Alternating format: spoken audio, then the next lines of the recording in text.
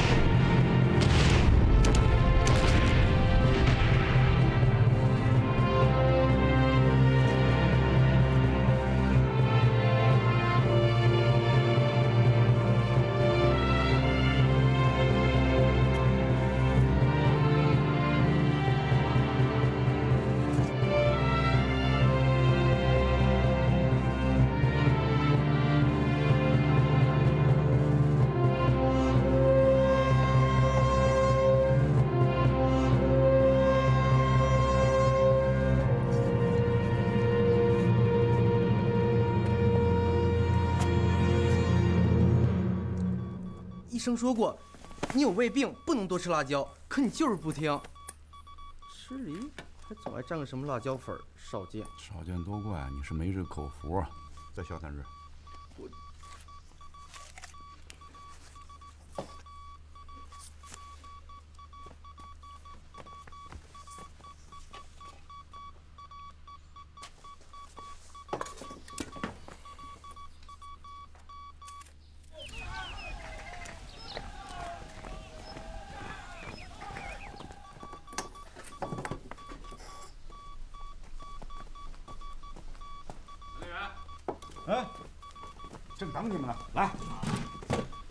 看看，再晚来一会儿啊，这梨可就没了。这梨 可不能这么吃。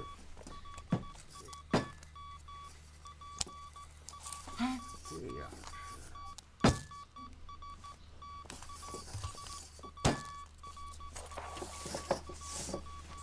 吃，吃吧。嗯。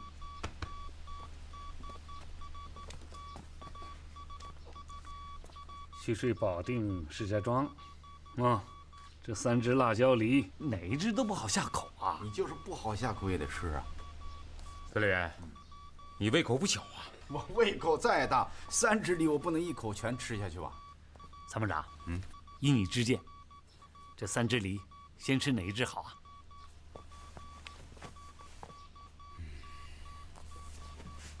徐水。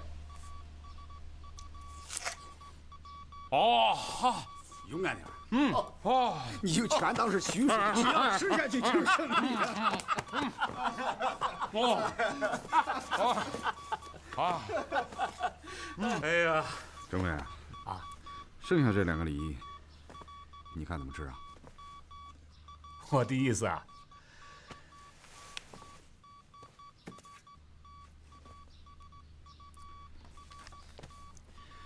石家庄这个梨。就是再难吃，也要把它吞下去。立正。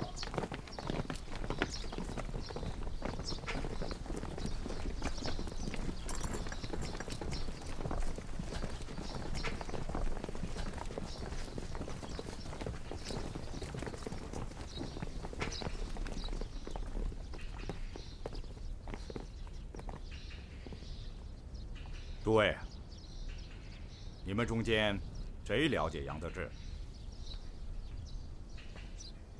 参谋长，你和杨得志多次交手，想必对其知之甚深吧？是啊，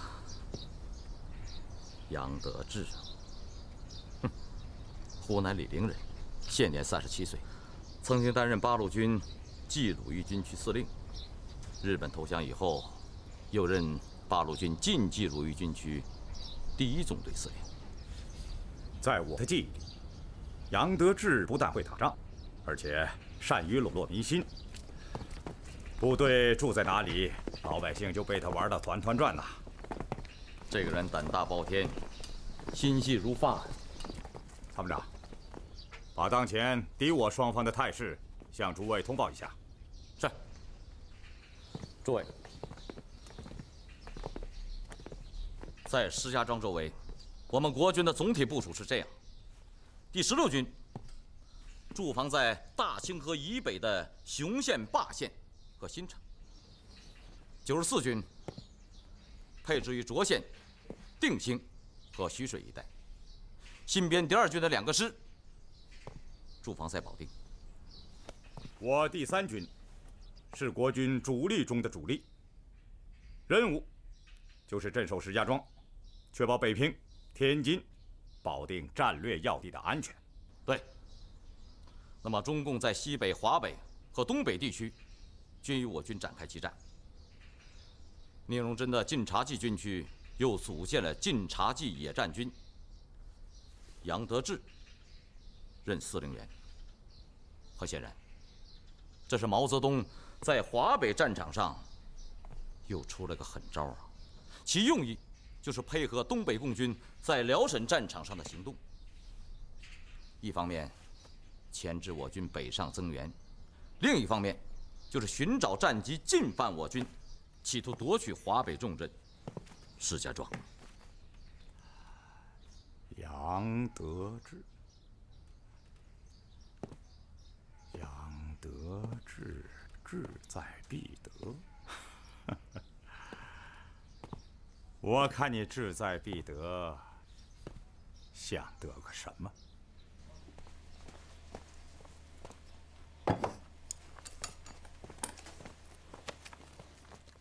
聂司令员非常同意我们的思路，嗯，战役的第一阶段依然是围城打援。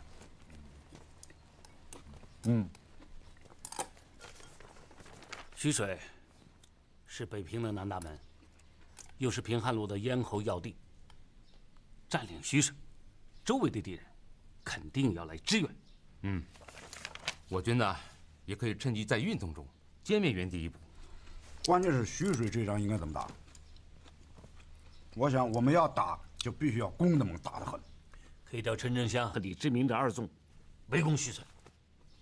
问题是，徐水的布防情况，我们一无所知啊。哦，这你就放心吧。抗战的时候，在这个地方有个女子别动队，非常活跃，而且屡战奇功。他们的队长我认识，叫马秋凤。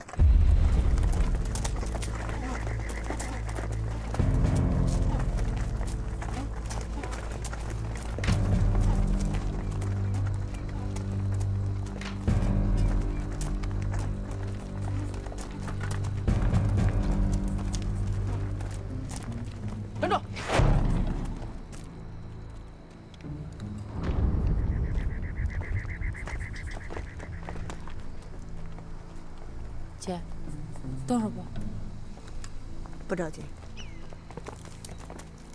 干什么的？长官，俺们都是赶集的。集的？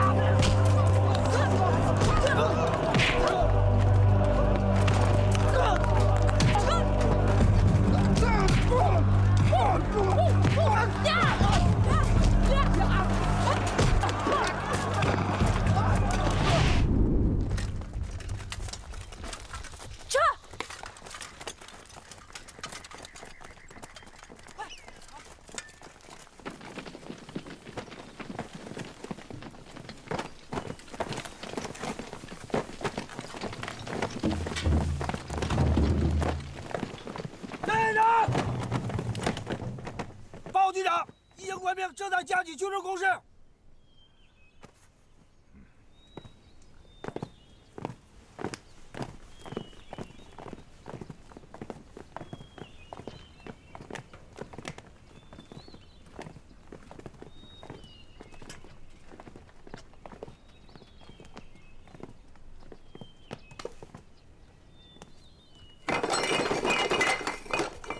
参谋长，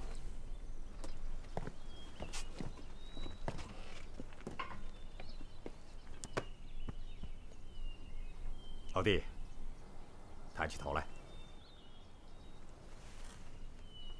集合。是。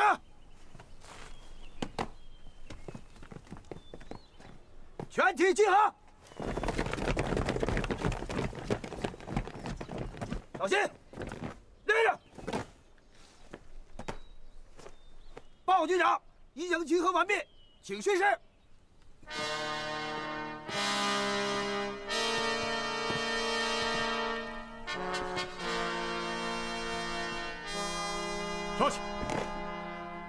弟兄们，听说过《水浒》中三打祝家庄的故事吗？有一个小小的村庄，叫祝家庄。可宋江带领梁山好汉，足足打了三次，付出相当大的代价才把他拿下。为什么呀？就是因为祝家庄工事修得好，障碍设得妙。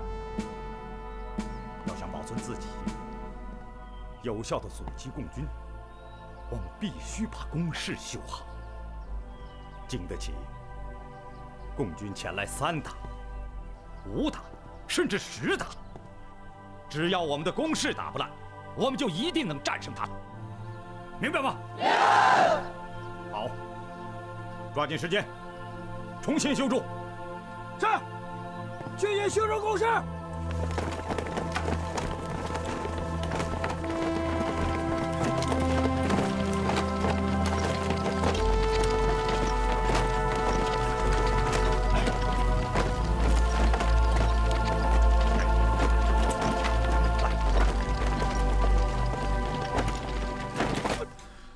们包围了徐水，敌人援兵出动的方向也有可能是两个。一个是徐水以南的保定，一个是徐水以北和东北的固城和荣城。当然，想调动这两个方向的敌人相对容易一些。可是，我更想，你更想的调动出镇守石家庄的罗立荣，对不对？对。可惜呀，可惜你不是罗立荣的参谋长。罗立荣是蒋介石和胡宗南的嫡系部，石家庄呢？又是蒋介石支撑着平津保三角地带的重要地点，把他调出来，确实难呐。这不是没有可能。我不是说过了吗？关键是看徐水这一仗怎么打。我想徐水这仗，我们既要破城，又要打援，要双管齐下。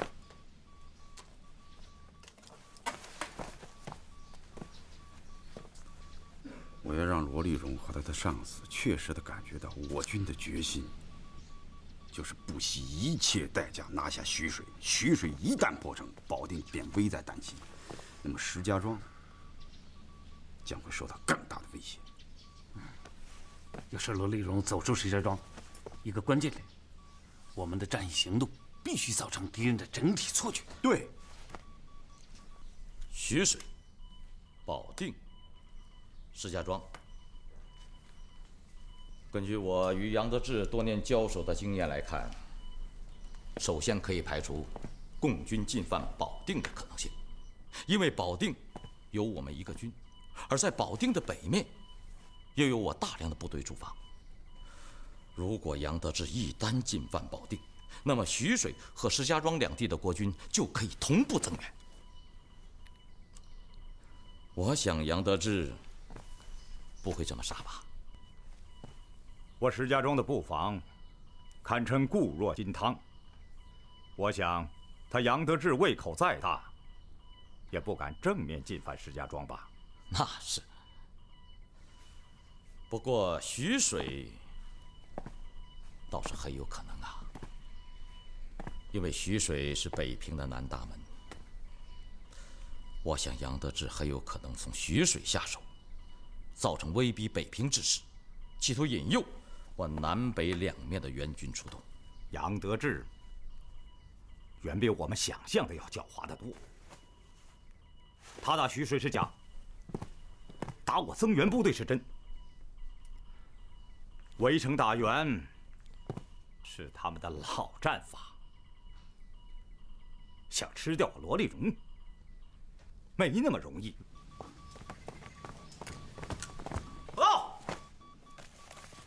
二纵特务连连长曹二牛前来报道。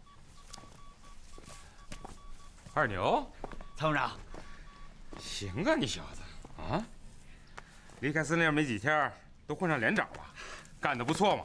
啊，跟首长五年了，没点长进还行。这倒是句感情话，不过曹二牛，我得告诉你，不要以为在杨得志身边工作过就把尾巴翘起来了，小心我给你剁了。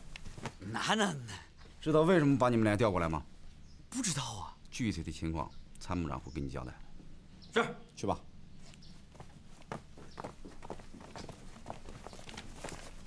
司令员、政委，徐水方面的通知到了。马秋凤。对。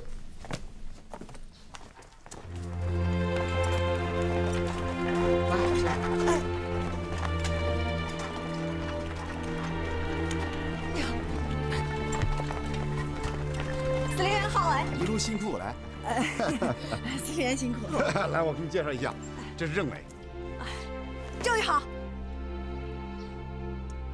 这位就是马秋凤同志。久闻你的大名，今日一见，果然名不虚传。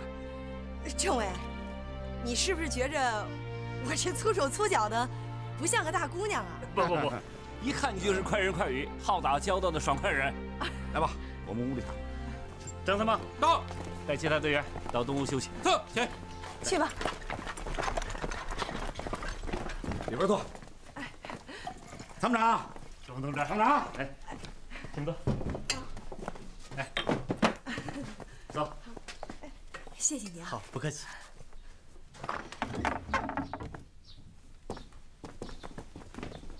坐下。兄，来，我给你介绍一下。不用介绍了，这位肯定是只身闯过鬼子大本营的双枪女队长马秋凤同志。秋凤同志，欢迎你啊！谢谢首长。哎，二牛呢？嗨，咱这个曹二牛，你还不清楚吗？打仗是把好手，就是见了女同志啊，比大姑娘还大姑娘呢。曹二牛，你给我出来！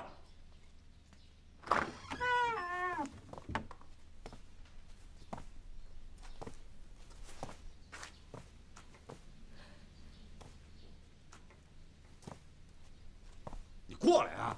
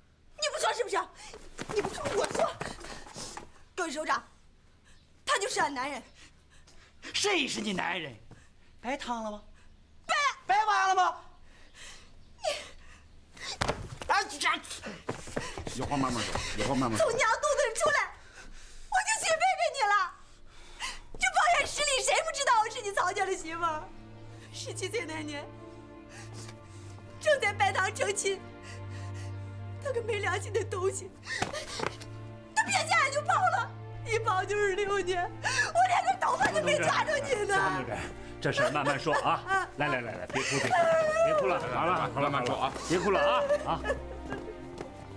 来来好了好了，别哭了别哭了，来来来，坐坐下来。怎么搞的？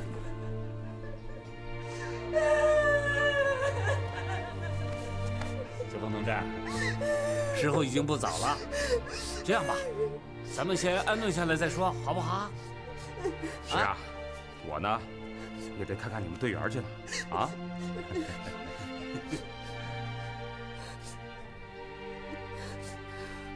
咦，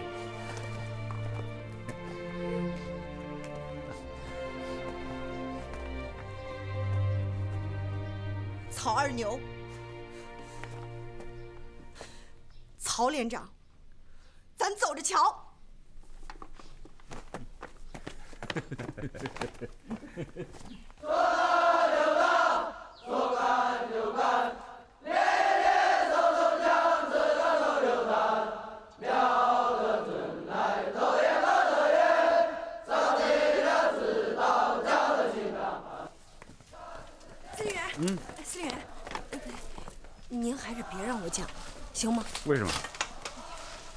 那么多人，我紧张。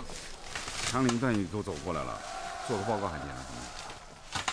那行，司令员，那万一我要是说错了，您可别怪我。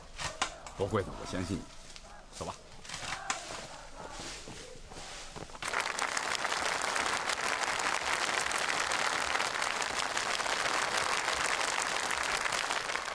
站起，站！等！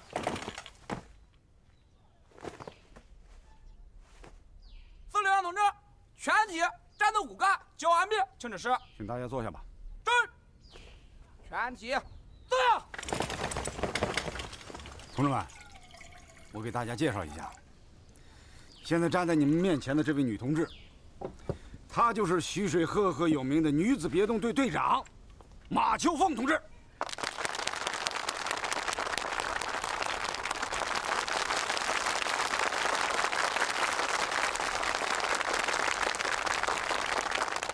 马秋凤同志可是一个地地道道的徐水通啊！现在我们就请他重点讲讲徐水的情况。俺今天来到这儿，有个事情，想当着大家伙的面先声明一下。俺男人，不，俺未婚夫，俺俩从小一块长大的。在六年前，俺俩拜堂成亲的时候，他自个儿偷着跑了。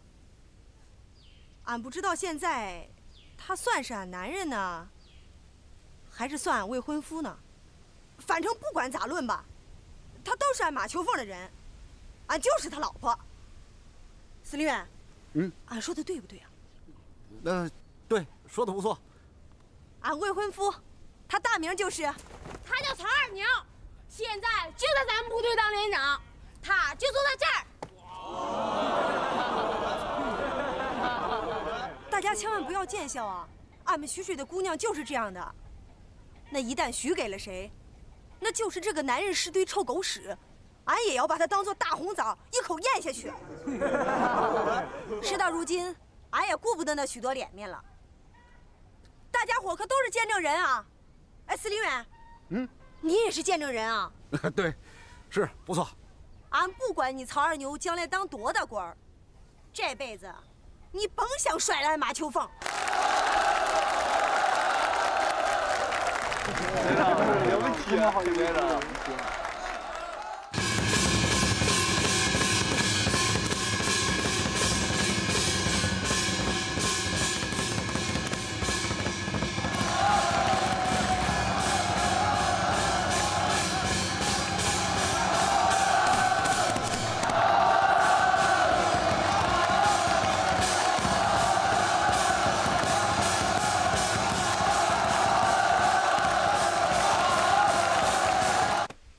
这徐水城啊，那四周都是些土围子，夯实坚固，可结实呢。城里的老百姓那住的房子都是平房，那房顶上平时都成晒粮食，搬个梯子就能攀上爬下的。那要是打起仗来，可是天然堡垒。哎哎哎，大家把心收一收，别两个眼睛瞪得直勾勾的，光顾瞧美女，得边听边动脑筋。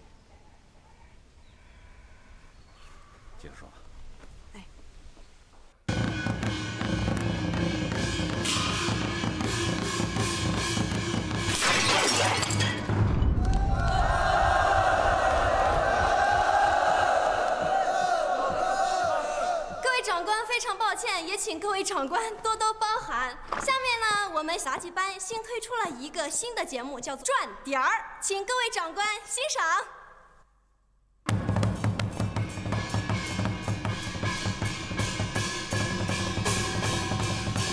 军座，军情紧急，请速回军部。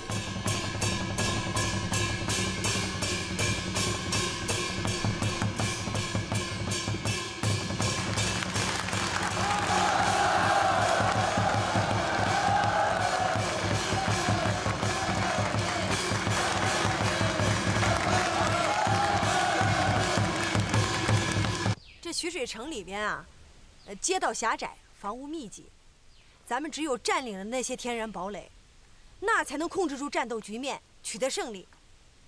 不然啊，你就是打进去了，也不能把敌人赶出城去。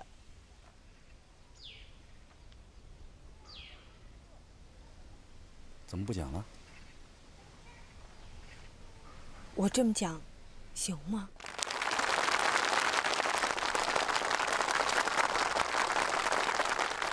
声说明你说的不错，大家都听明白了。你讲的不错，接着讲。哎，嗯，咱们部队不是重武器少吗？咱们打徐水，我还有点想法。军座到。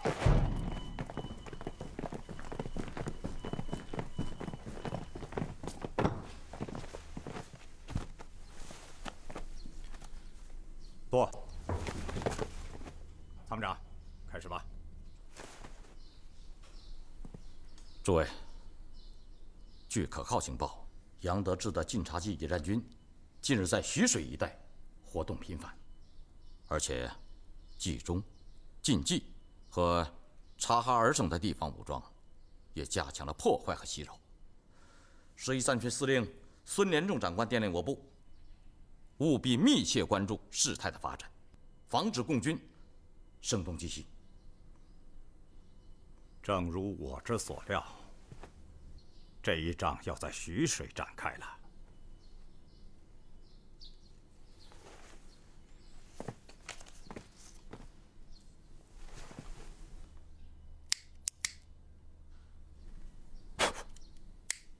石家庄外围有没有敌情？有。外围集结着共军冀中独立第八旅，大约三千人马。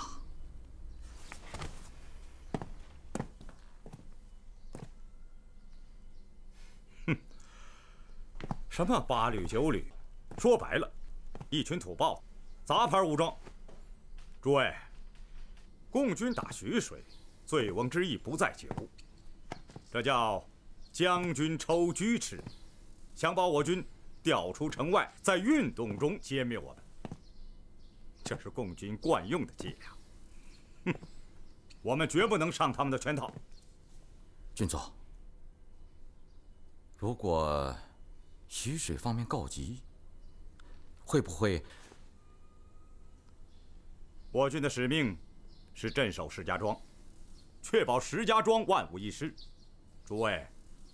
还是把心思用在自己的岗位上吧。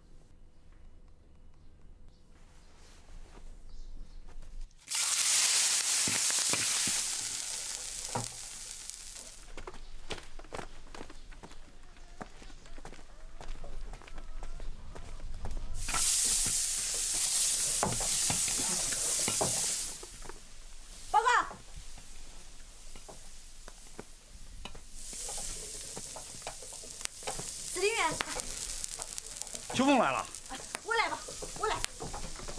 不是，菜你看你们干的什么？我，我把它盛出来。不，使不得，使不得，你是贵客，我是主人。那边坐，行不行？把菜盛出来。好，坐坐坐坐。好。啊。等我们的曹连长来了以后，让你看戏啊。先喝口水。秋凤。哎。来。司令员，让您费心了。这是应该的，我现在不费点心，你们到了战场上怎么打仗？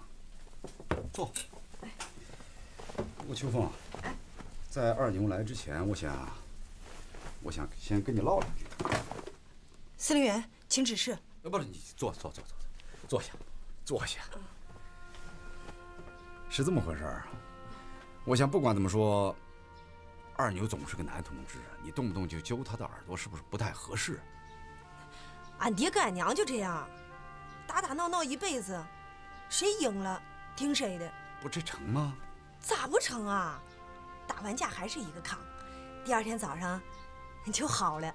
可是你们俩不一样，你们俩都是革命的同志，应该互相尊重，和睦相处。如果什么事都用拳头来解决的话，就是结成了夫妻，到头来不是还得散伙啊？俺打他，他也可以打俺嘛，这才是个真男人。可是他是革命军人，又是共产党员，他能打你吗？我是他老婆，他可以随便打，没事儿的。你这是越说越离谱了。我这么跟你说吧，就是再弱的男人，要真动起手来，女人也是斗不过的。嗨，司令员，俺有绝招。什么绝招？你就拿俺娘说吧，俺娘的身体弱小，俺娘要是跟俺爹硬斗，她肯定斗不过俺爹。可每次，俺娘总赢。智取。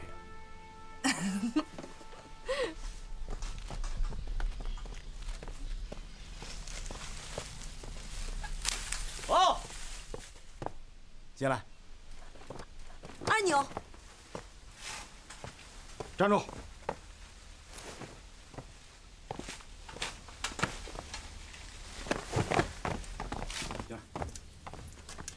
坐下。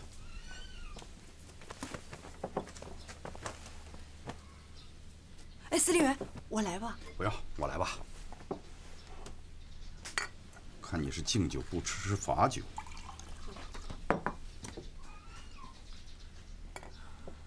司令员，我我喝不了这烧酒。对呀、女同志是喝不了烧酒。我转过来。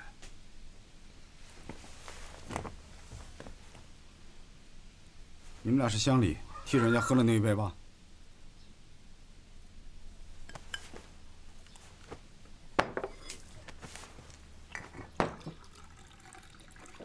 秋凤，啊，坐下吃。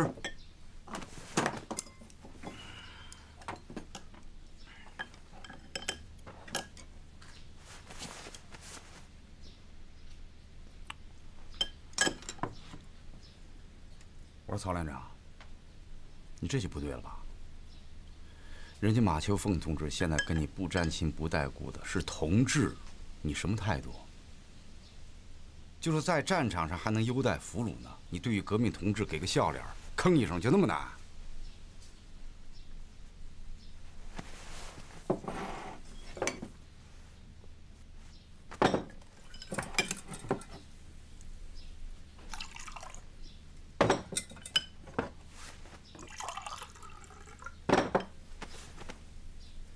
好，来，忘记过去，记住友情，并肩作战，啊！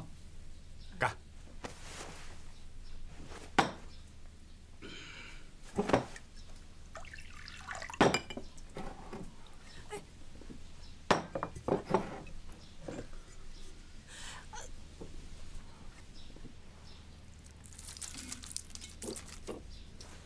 二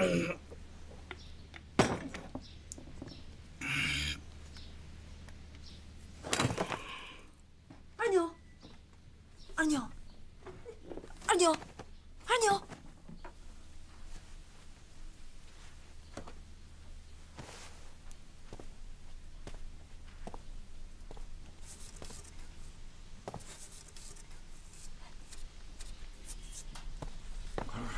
里边去，里边去，快！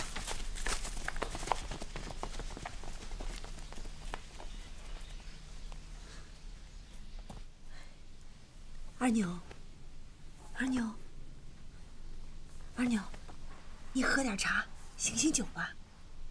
二牛，二牛，秋凤，不，马秋凤同志，你这场戏该演完了吧？二牛，你没醉啊？倒是真醉了，这心里边也明白着呢。这司令员请客，那不也是为咱俩好吗？你能啊！你把司令员都请出来了，我告诉你，你就是把天王老子请出来，咱俩也成不了夫妻。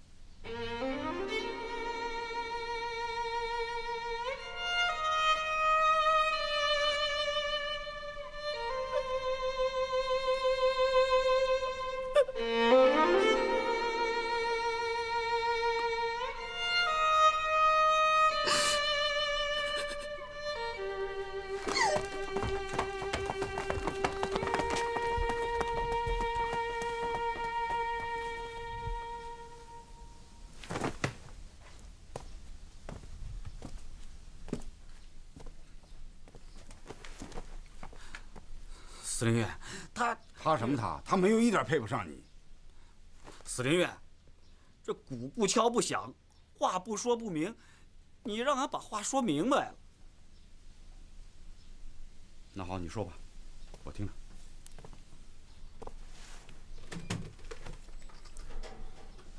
他们家和，俺们家呀是世交，双方大人就指腹为媒，给我们定了个娃娃亲。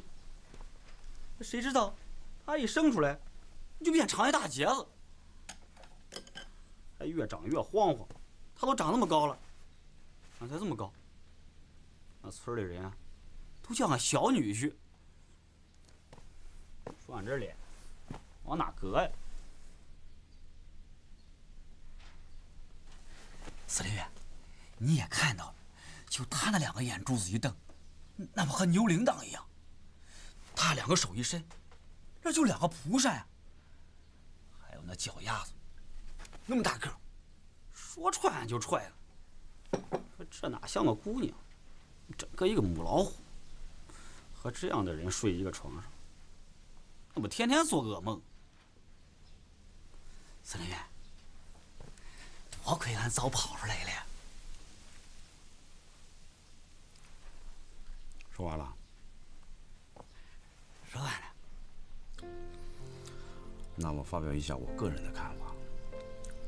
在革命的队伍里，婚姻自由我不干涉。但是你刚才说那些，我怎么听着都是人家的优点。他至今未嫁，这说明人家心里有你。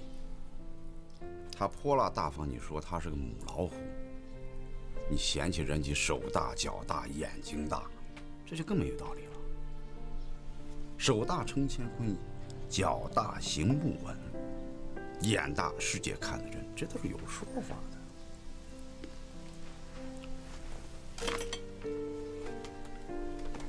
方连长，到！我可告诉你，马上就要攻打徐水了。野战军党委研究决定，调你们连和徐水的女子别动队联合组成工程先遣队。这件事情责任重大，我可不希望你给我添麻烦。司令员，那我该怎么办？按照乡下的习俗，你们俩的婚约并没有解除啊。是分是合，战前必须给我解决。是。说秋凤姑娘怎么就能看上你？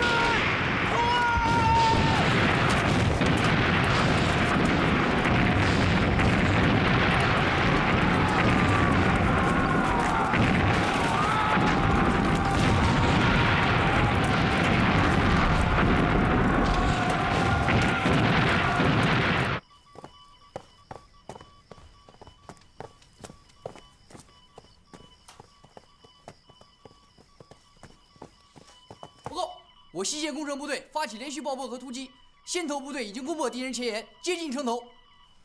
罗立荣有没有动静？没有。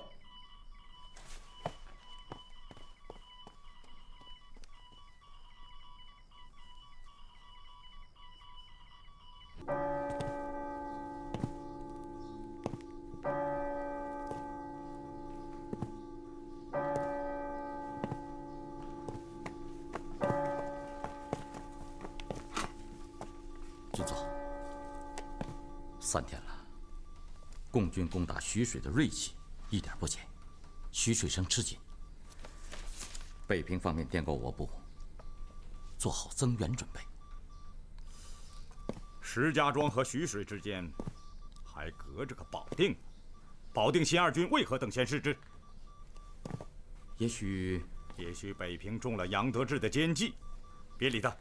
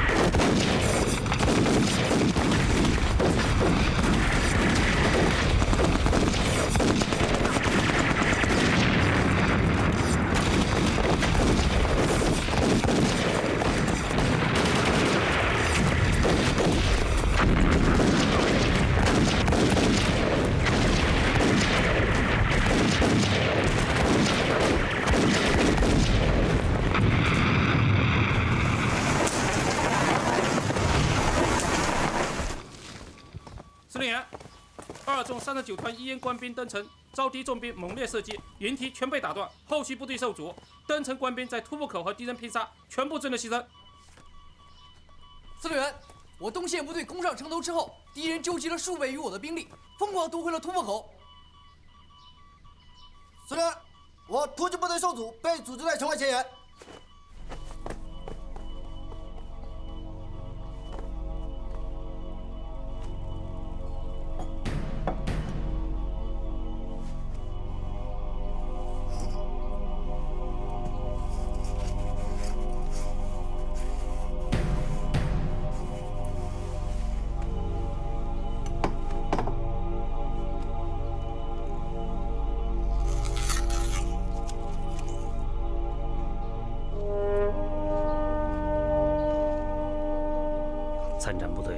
续作战了三天三夜，没有得到休息和补充，有些部队的建制都打乱了，伤亡很大。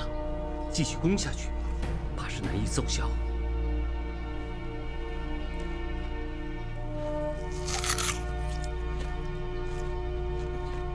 白天作战，部队完全暴露在敌人的飞机大炮之下，这样会造成更大的被动。打，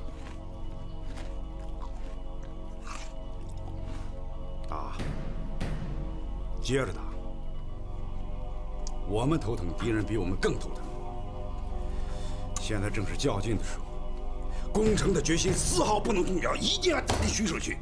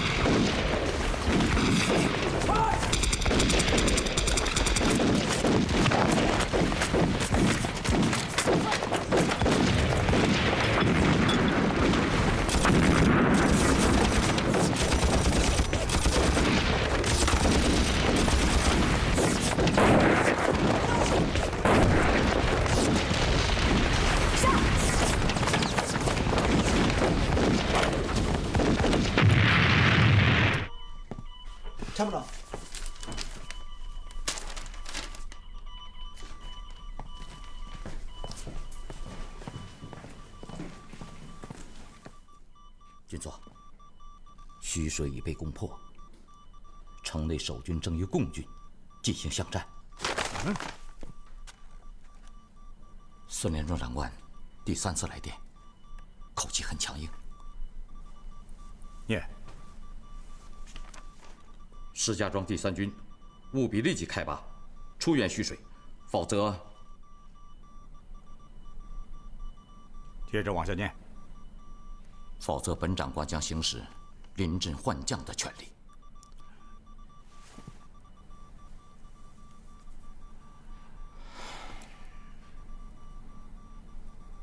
执行命令。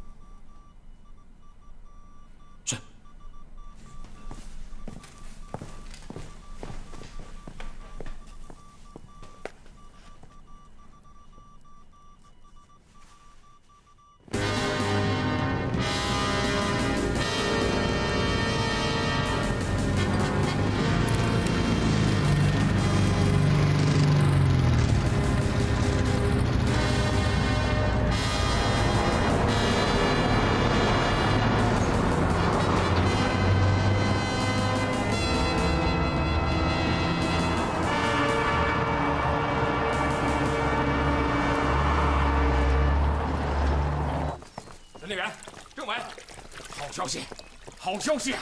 什么好消息啊？罗丽荣终于被调出来了。谈谈详细情况。据前人报道，罗丽荣亲自率领第三军两个师和一个团的兵力，于今天早晨开出了石家庄。这是一块送上门的肥肉，战机难得啊！集中所有的优势兵力，把它吃掉。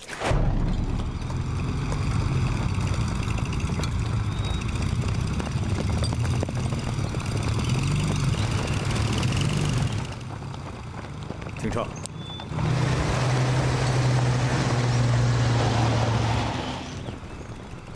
传我的命令，停止前进。是。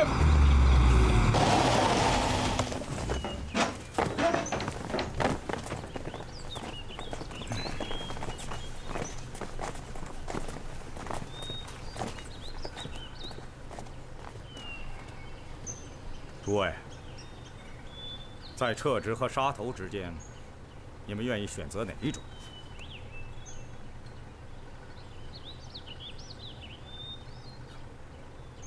请君座明示。我们不去增援徐水，最多落个撤职查办的处分，丢的是官衔。可是石家庄一旦失守，诸位都得陪我掉脑袋。可是军座，孙长官说了，一切后果由他承担。他承担责任？你什么时候见过大权在握的人替下级承担责任？向北平发报，我军出城受阻。是。参谋长，传我的命令，就地宿营。是。报告，前敌侦察人员来电，罗丽荣率部在新乐宿营。什么原因？原因不明。立刻查清罗丽蓉在新的宿营原因。是。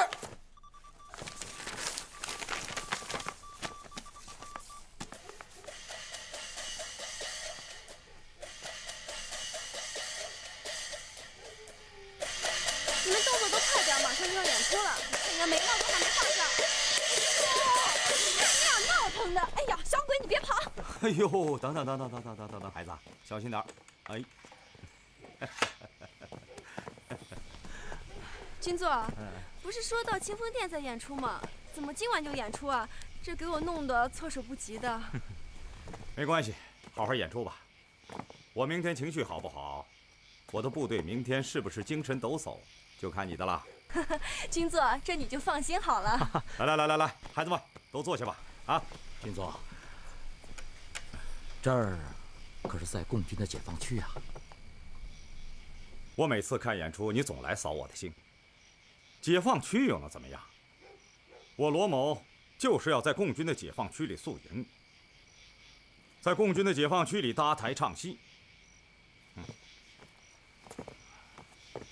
哎，对了，上次顶坛子那个节目还有吗？军座，知道你喜欢这个节目，早就给您准备好了，保证不会再有上次的失误了。我很欣赏这个节目啊，顶坛子。关键是要掌握好身体的平衡，既要胆大心细，又要谨慎小心，否则就要砸自己的脚，对不对啊？对，参谋长，啊，你说呢？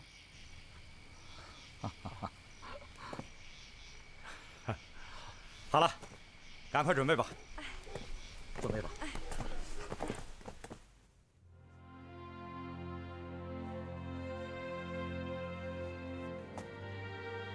罗丽蓉并没有我想象的那么简单。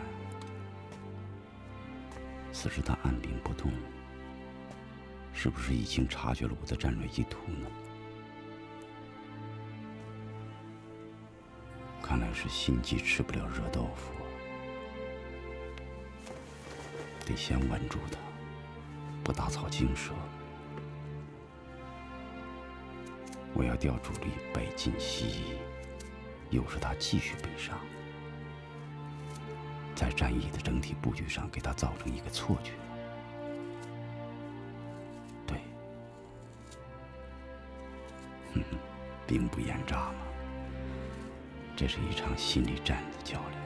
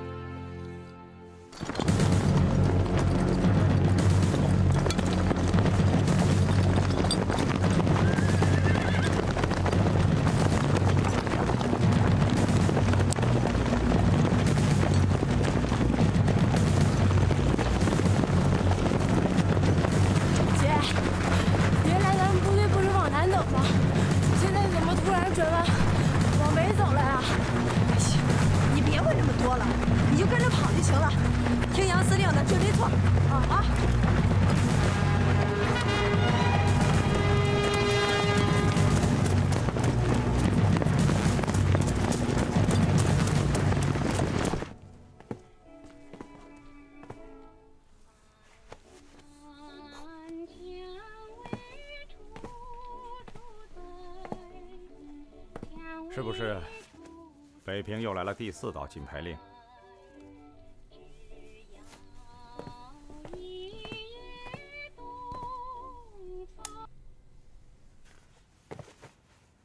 军座，据可靠情报，杨得志的主力已经北进西移，准备攻打来自北平方面的援军。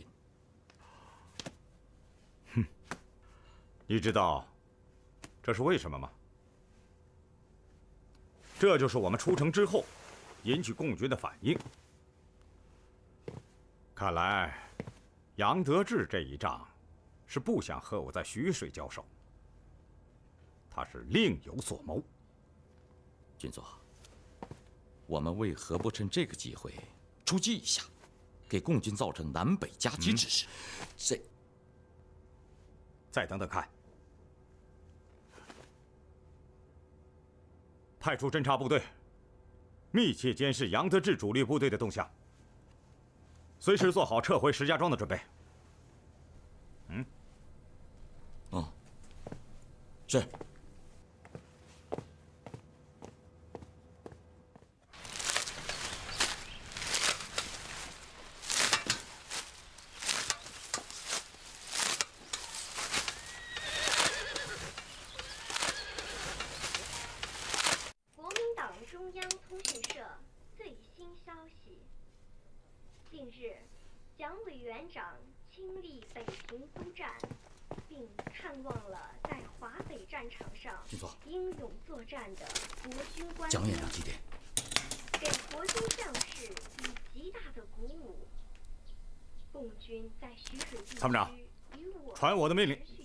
队马上向徐水开进。是。炮火下，共军屡屡受挫，不堪一击。此次，在蒋委员长亲自指挥下，将对华北共军形成更加猛烈的打击。司令员，司令员，什么事？罗立荣这个老狐狸总算出动了，正向保定方向开进。真的？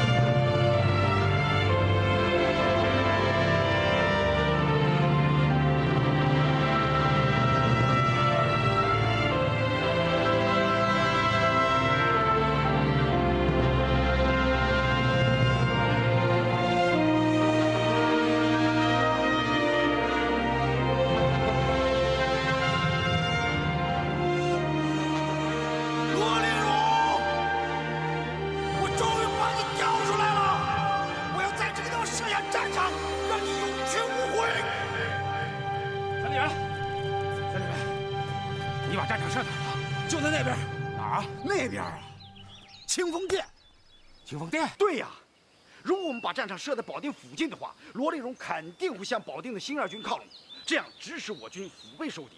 如果我们把战场设在远离保定的清风店，敌人就没有合围我军的机会，这样我们就可以一举吃掉罗立荣。我主力部队要绕过保定敌占区，南调二百华里才能到达清风店，而罗立荣离那儿只有九十华里，敌军处于优势啊！胆子不大，不得其胜。九十华里和二百华里看起来是敌人比我们占优势，可是我们的八旅和地方武装可以牵制住敌人，只要牵住他们一天，我们就能跑完二百华里。这是罗立荣死都没想到的问题。这个设想太大胆了，简直是胆大包天。兵贵神速，马上下达命令。是。同时，向军区首长报告。是。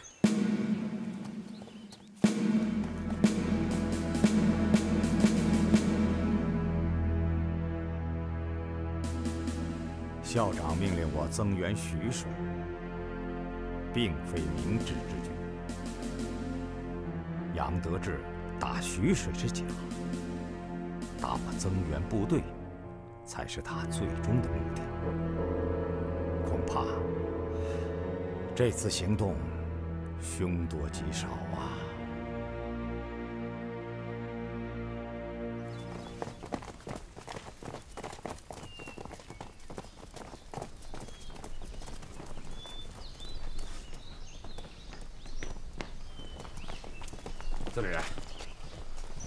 线路已中断，一时无法接通。为了防止泄密，无线电台已经关闭。机不可失，时不再来，该我们自己拿主意。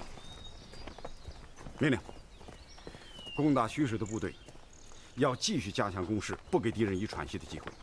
二纵五旅、三纵七旅、八旅和独立七旅不动，继续阻截北面敌人的援兵。三纵其余的部队和一纵第四纵队立即掉头，随我南下，限二十四小时到达方顺桥以南的清风殿。是。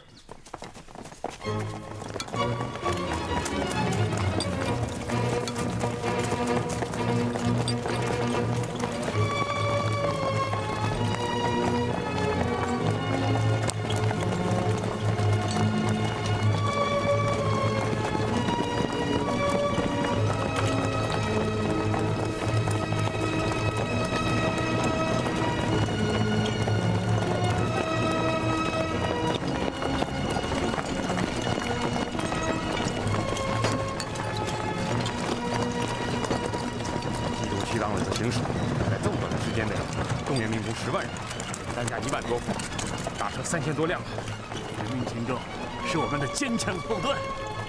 谢谢，谢谢蒋校长。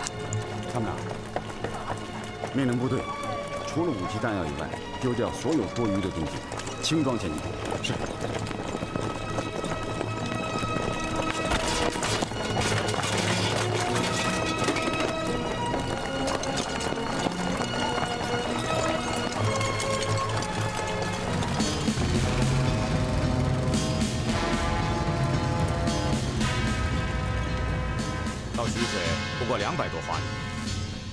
个速度，两天，不，最多两天半，我看足够了。通过共军的解放区，可能会有些麻烦。什么麻烦？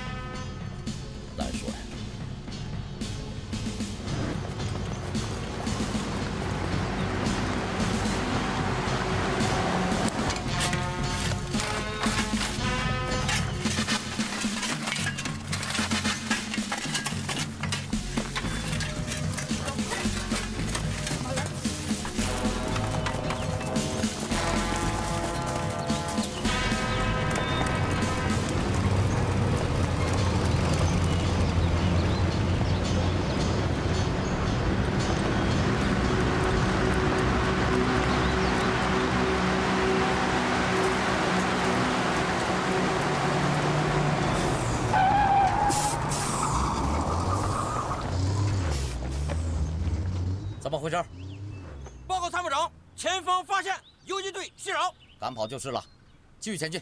是。等等，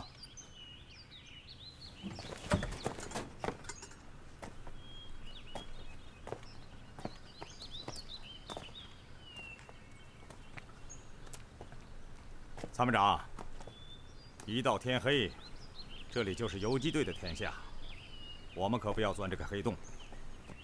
传我的命令，就地宿营。是。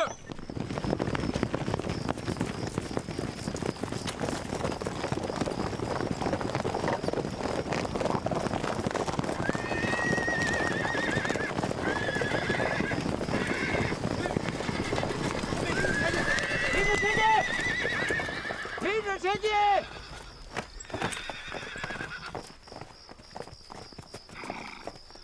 参谋长啊，我们是不是走错路了？不会吧，前面有向导啊！李参谋，把地图拿来。用不着，地图就在我脑子里。我们是提前转弯了，应该从下个村子转弯。司令员，你真神了！千军万马，方向可不能搞错。命令部队调整序列，后队变前队，跑步前进。是。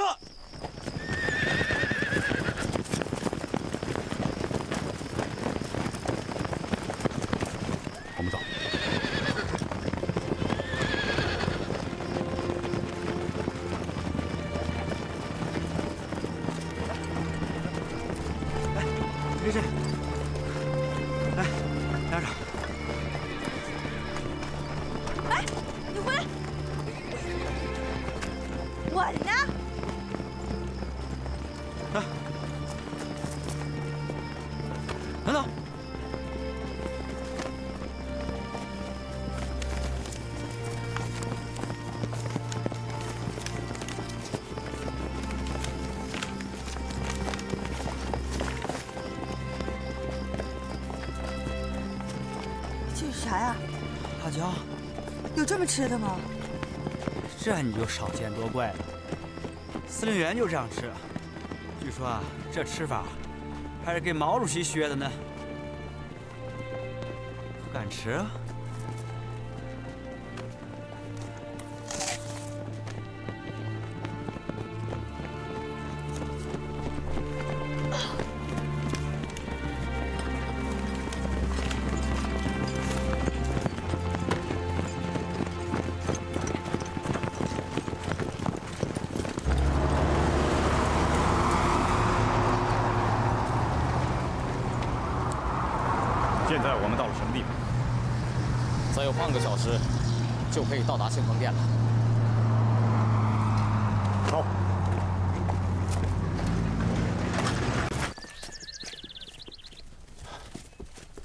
政委，我部六个旅全部按时间到达了庆丰店地区，将罗立荣的部队全部包围在渔歌营、大瓦房、北支河、南河庄、西南河等十几个村子里。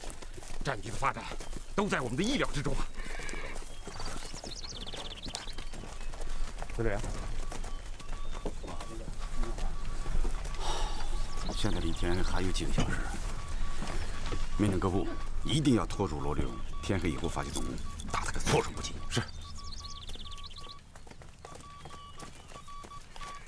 警卫员到，辣椒梨给我拿过来。司令员，机关还没跟上来，梨和辣椒我没放在身上。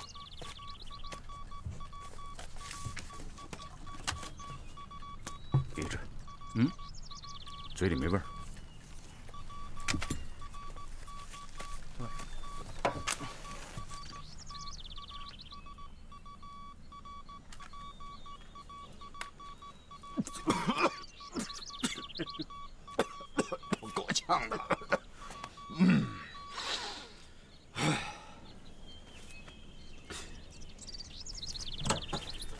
女子别动队现在到什么地方了？哦，已到方阵桥，离清风殿只有五十华里。让他们做预备队吧，将来有用得着他们的地方。是。我姐呢？在那儿呢。姐，嗯，二女哥就在不远的地方，要不咱找他去？姐，这回你可不能放过他，一定好好教育教训，看他又要干嘛丢心。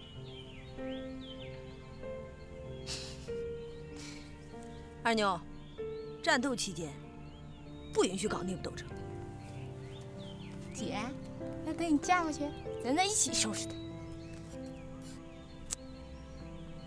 小声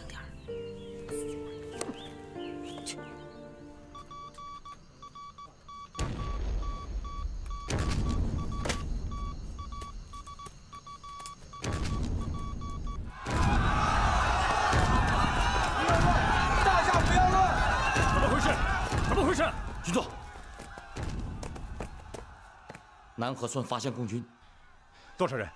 情况不明，迅速查明情况，随时向我报告。好的。报告司令员，我军在南河村与敌军突然遭遇，战斗打响了。参谋长，到。既然已经暴露，命令部队全面出击。是。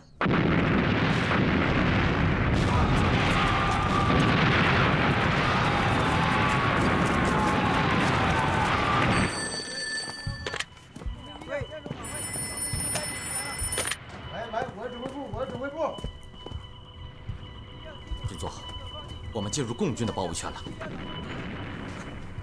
据我判断，我们的对手绝不是一般的地方武装。这么多共军，难道他们是从天而降？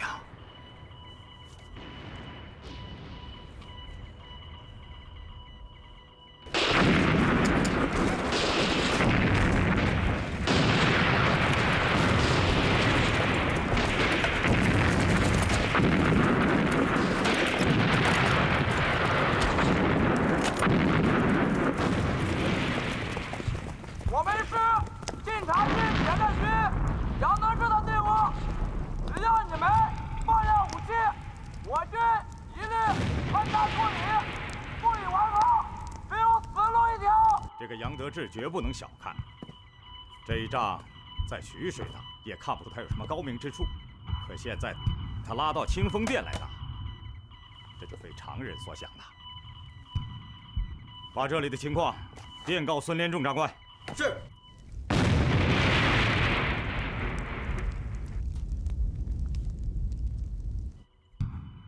昨天，徐水守军还在与杨得志的野战军激战，怎么转眼之间就赶到清风殿了呢？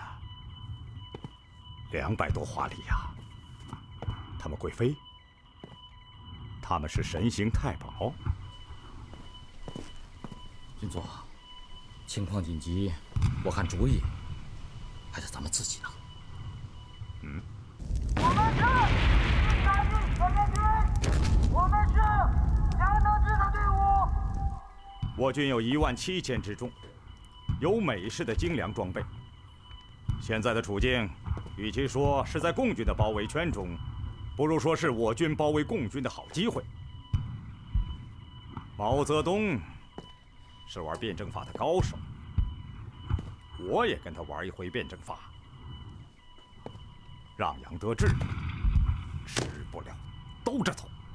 军座的意思是不是可以反击？不，是初级。传我的命令，部队向北开进，对共军形成反包围。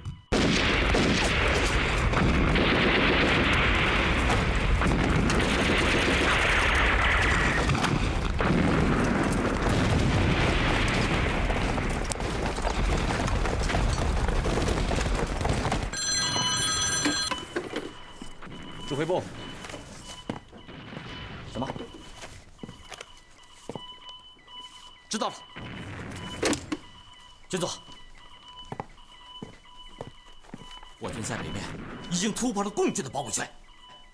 好，抓住这个有利时机，赶快向孙连仲长官报告，请求增援，以防共军扩大战事。是。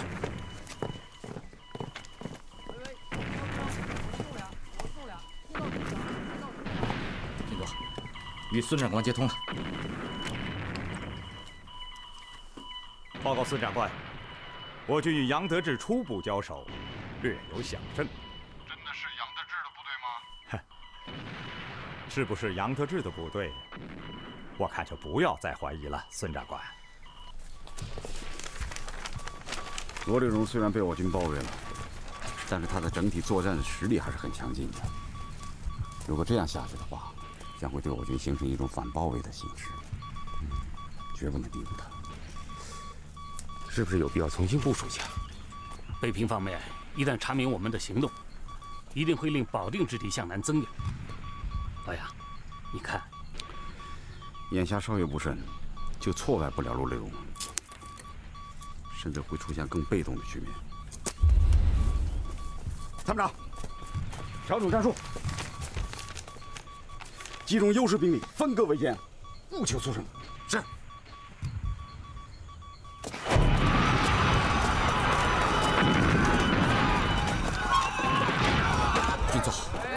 我军一万七千人被分割了六次，力量大被分散了。游击队已经控制了他们的渡口。军座，我们的队伍被截断了。立刻向北平发报，请求孙长官火速支援。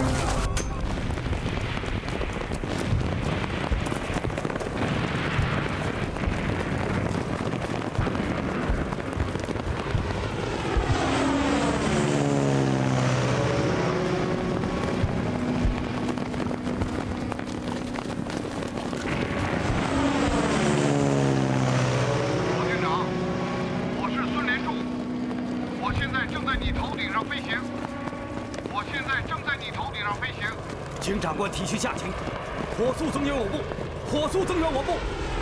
我马上派飞机来助你一臂之力。还有地面部队，地面部队，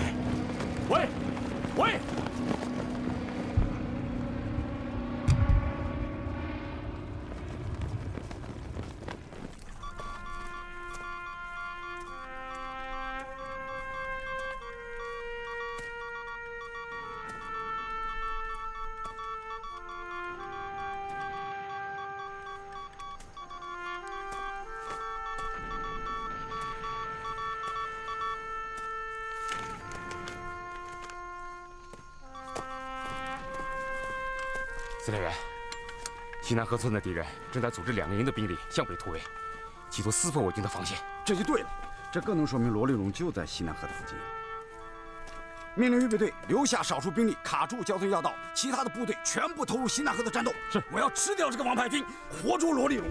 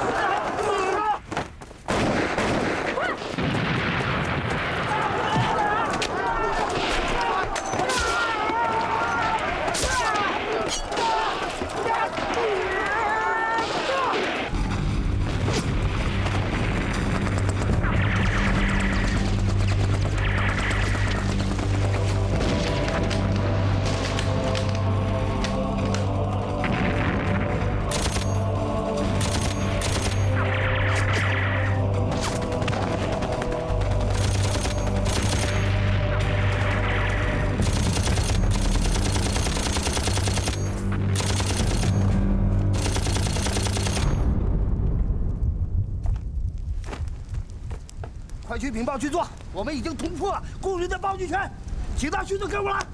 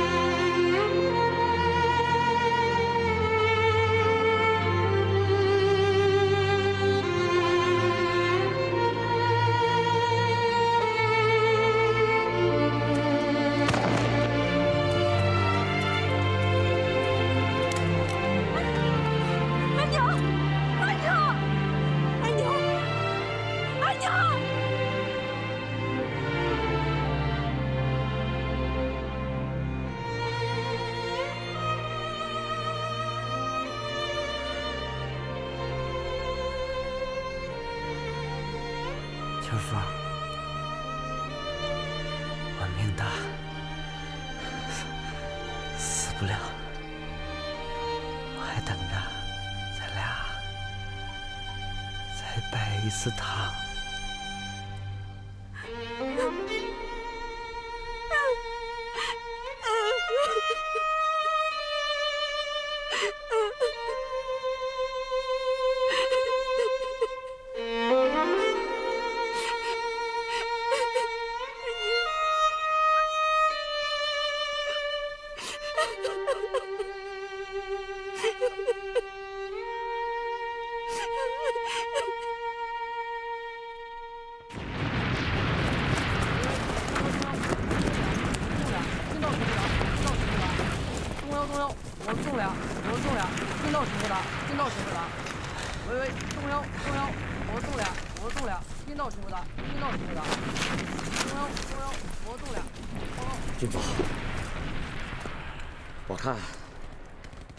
局势对我们很不利呀、不能再指望孙连仲了，我们得自己想办法冲出共军的包围圈。往哪儿退？到处都是共军，走得了吗？不走只能坐以待毙，走，背不住还有条生路啊！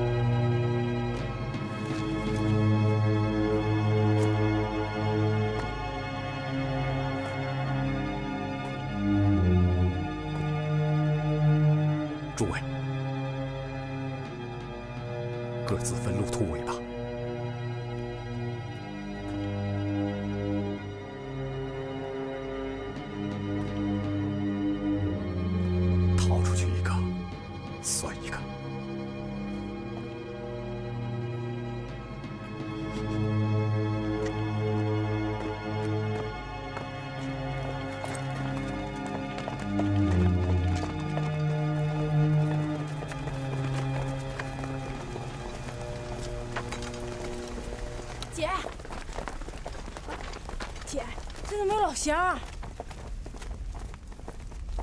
去看看。老乡，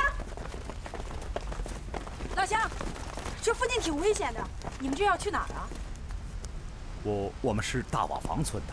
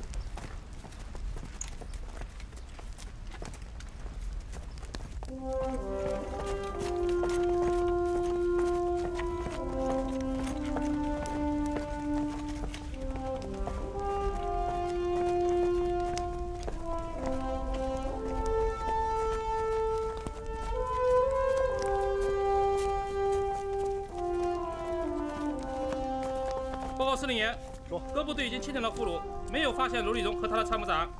会不会被打死了？不可能，攻打西南河是白人的途径，怎么会打死他呢？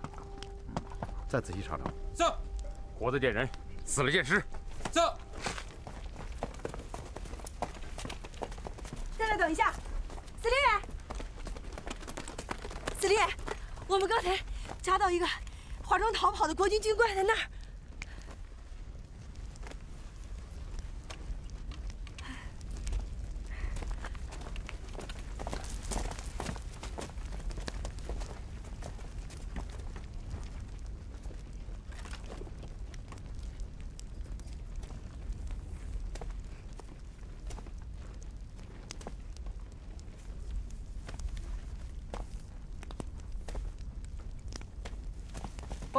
罗玉荣参谋长已抓到了。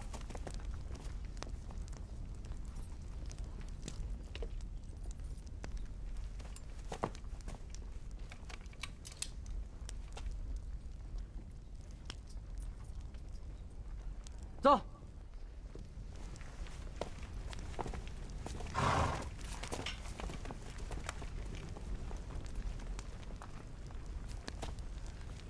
杨将军，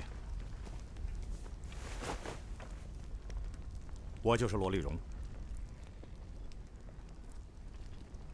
贵军在二十四小时之内跑了两百多华里，先我到达清风店，创造了远距离作战的奇迹。兄弟，我钦佩不已。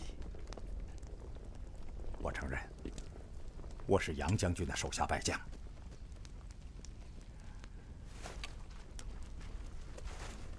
带下去。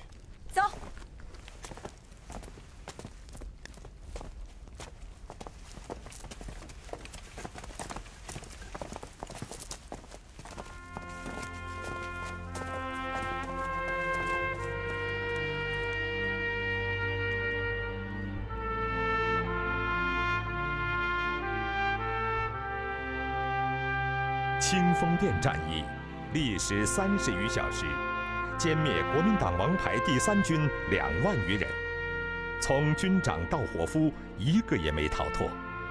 这次战役创造了我军在平原战场上远距离机动歼敌的奇迹，成为载入我军史册的著名运动战战例。二十天后，我晋察冀野战军乘胜拿下石家庄。石家庄成为全国解放的第一座二十万以上人口的大城市。